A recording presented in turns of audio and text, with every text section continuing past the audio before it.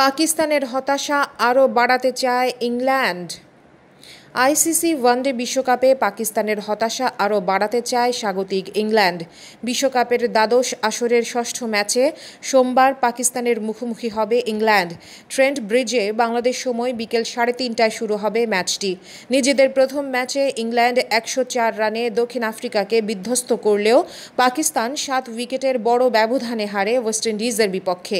এই ম্যাচে ইংল্যান্ড জয় পেয়ে এগিয়ে যেতে চায়। আর পাকিস্তান চাইবে ঘুরে দাঁড়াতে। যদিও ম্যাচের ম্যাচের আগে ইংলিশদেরই এগিয়ে রাখতে চান ক্রিকেট ভক্তরা। কারণ নিজেদের মাঠে ইংল্যান্ড কতটা ভয়ঙ্কর তা ইতোমধ্যে দক্ষিণ আফ্রিকার বিপক্ষে প্রমাণ করেছে তারা। এছাড়া ব্যাটিং স্বর্গ হিসেবে বিবেচিত ট্রেন্ড ব্রিজের এই মাঠেই একদিনের আন্তর্জাতিক ক্রিকেটে দুইবার সর্বোচ্চ রানের রেকর্ড গড়েছে ইংল্যান্ড। অথচ গত শুক্রবার এ মাঠেই নিজেদের প্রথম ম্যাচে ওয়েস্ট ইন্ডিজের কাছে লজ্জাজনকভাবে হেরে গেছে সরফরাজ আহমেদের পাকিস্তান। নটিংহ্যামের ব্যাটিং সহায়ক পিচে ক্যারিবীয়দের সুশৃঙ্খল বোলিং তোপে একুশ দশমিক চার ওভারে মাত্র একশো পাঁচ রানে গুটিয়ে যায় পাক ক্রিকেট দল। অথচ এখানেই পাকিস্তানের বিপক্ষে দু সালে তিন উইকেটে চারশো চুয়াল্লিশ এবং দু সালে ছয় উইকেটে চারশো একাশি রানের রেকর্ড গড়েছিল ইংল্যান্ড। এছাড়া এ মাঠেই এবারের বিশ্বকাপের উদ্বোধনী ম্যাচে দক্ষিণ আফ্রিকাকে উড়িয়ে দিয়েছে ইংলিশরা। পাকিস্তানের বিপক্ষে ম্যাচে ইংল্যান্ড আজ ফার্স্ট বোলার মার্ক উডকে পুনরায় দলে ডাকতে পারে। শর্ট পিচ বলে পাকিস্তান পাকিস্তানের দুর্বলতার বিষয়টি বিবেচনা করেই ফাস্ট বোলার জোফরা আর্চারের সঙ্গে জুটি হিসেবে উডকে রাখতে পারে স্বাগতিকরা।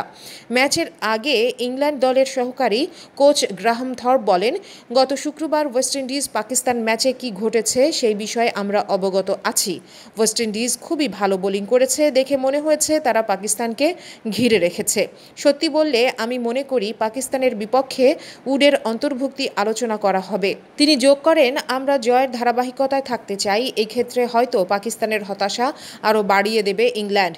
বাঁ পায়ের দীর্ঘদিনের ইঞ্জুরিটা যাতে আবারও দেখা না যায়, সেটা বিবেচনা করেই মৌসুমের শুরু থেকে উড এখন পর্যন্ত মাত্র তেরো দশমিক এক ওভার বোলিং করেছেন। তবে আর্চারের মতো উডও ঘন্টায় নব্বই মাইল গতিতে বোলিং করতে সক্ষম হওয়ায় বিশ্বকাপ বিবেচনায় ইংল্যান্ড এখন একটা ঝুঁকি নিতে পারে।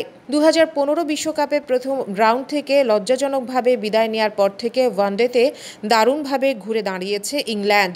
ফর্মের তুঙ্গে থাকা ইংলিশরা আইসিসি ওয়ানডে র্যাঙ্কিংয়ের শীর্ষস্থান দখল করেছে। তবে আর্চারের বোলিং তোপে প্রোটিয়ারা খেই হারিয়ে ফেলার আগে ওভালের ফ্ল্যাট উইকেটে ব্যাটিং করে স্বাগতিক ইংল্যান্ড নির্ধারিত পঞ্চাশ ওভারে আট উইকেটে তিনশো এগারো রান তুলতে পেরেছে। ওয়ানডে ক্রিকেটে এক ইনিংসে পাঁচশো রান করা একসময় অসম্ভব মনে হতো। তবে ইংল্যান্ড দলের সাম্প্রতিক সময় রেকর্ড ভাঙা ব্যাটিং দেখে মনে হচ্ছে, আজ ট্রেন্ট ব্রিজে আগে ব্যাটিং করলে পাঁচশোরও কাছাকাছি যেতে পারবে তারা। সম্প্রতি ইংল্যান্ডের কাছে চার শূন্য ব্যবধানে একটি সিরিজ সহ নিজেদের শেষ এগারো ওয়ানডেতে হার মানে পাকিস্তান, তবে দলটির pacer Wahab Riaz short pitch বলকে স্বাগত জানিয়েছেন। তিনি বলেন, কেউ যদি বাউন্সার দিয়ে আমাদের ঘায়ল করতে চায়, তাতে আমাদের কোনো সমস্যা নেই। ইংল্যান্ড দলের খেলোয়াড়রা Eoin Morgan Jason Roy Jonny Bairstow James Vince Jos Buttler Ben Stokes Moeen Ali Chris Woakes Liam Plunkett Tom Curran Liam Dawson Mark Wood Adil Rashid Jofra Archer ও জো রুট পাকিস্তান দলের খেলোয়াড়দের নাম। শোয়েব মালিক, মোহাম্মদ হাফিজ, সরফরাজ আহমেদ, ওয়াহাব রিয়াজ, মোহাম্মদ আমির, হারিস সোহেল, বাবর আজম, ইমামুল হক, আসিফ আলী, ইমাদ ওয়াসিম, ফখর জামান, শাদাব খান, হাসান আলী, শাহিন আফ্রিদি ও মোহাম্মদ হাসনাইন।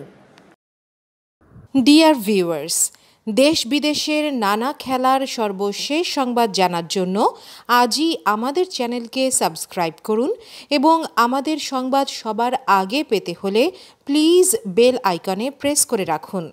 ধন্যবাদ।